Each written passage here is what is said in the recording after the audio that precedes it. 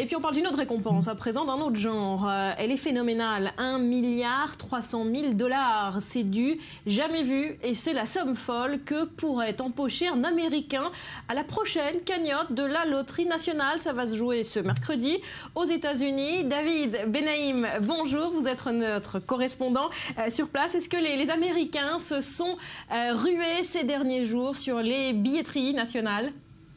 Oui, c'est littéralement la ruée vers le ticket gagnant depuis la semaine dernière.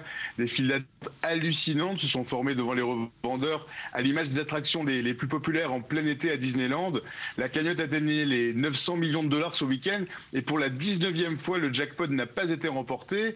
Les recettes des ventes de tickets pour ce Powerball ont atteint le milliard de dollars et le record risque d'être battu d'ici mercredi avant le nouveau tirage.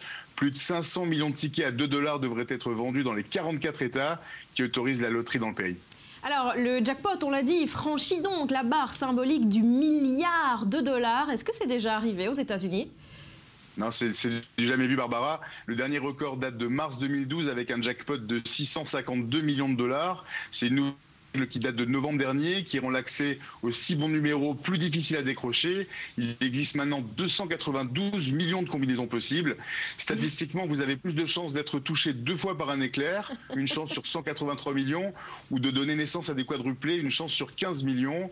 Pour l'instant, le jackpot affiche donc 1,3 milliard de dollars, mais le chiffre peut encore évoluer en fonction du nombre de tickets vendus. Mais si la cagnotte semble si difficile à décrocher, la loterie fait de plus en plus d'heureux. 69 nouveaux millionnaires sur le dernier tirage, c'est quand même un beau lot de consolation. Voilà, réponse donc mercredi. Merci euh, David pour ces euh, précisions.